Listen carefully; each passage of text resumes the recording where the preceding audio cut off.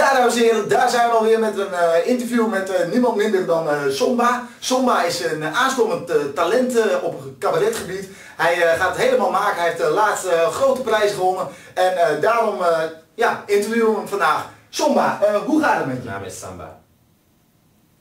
Samba Schutte. Ja, ja, dat, dat, is, dat is altijd een beetje jammer, hè? dat die aanstormende jonge cabaretiers wil het graag altijd alleen maar over zichzelf hebben. Dat is natuurlijk ja, dan zal ik even door, voor deze keer door de vingers zien, maar goed, we praten wel even omheen. Um, samba. Samba. Um, je komt uit uh, Afrika. Ja, Afrika, dat associëren we natuurlijk met uh, ja, zand, zon, bomen, zand. Maar, maar, niet eigenlijk met, uh, met de cabaret. En uh, nou, nou vroeg me af, uh, misschien kun jij uh, ons iets vertellen over ja, cabaret in Mauritius. Mauritanië. Sorry? Ik kom uit Mauritanië.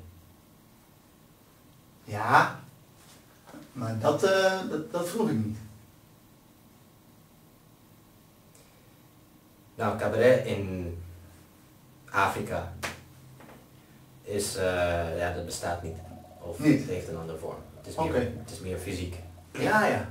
En um, ja, wat, wat, uh, ja, we hebben natuurlijk, uh, ja, uh, je hebt natuurlijk een soort thema in je voorstelling. -hmm. Ja, een soort thema over um, ja, dingen. En um, ja, kun je daar misschien iets meer over vertellen?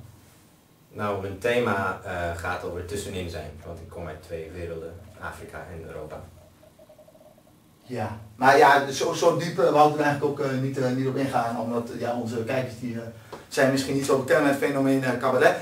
nou ja, daarom, de tijd zit er eigenlijk ook al op. toch bedankt en nou ja, goed, veel succes met je carrière. Dankjewel. Tot de volgende keer.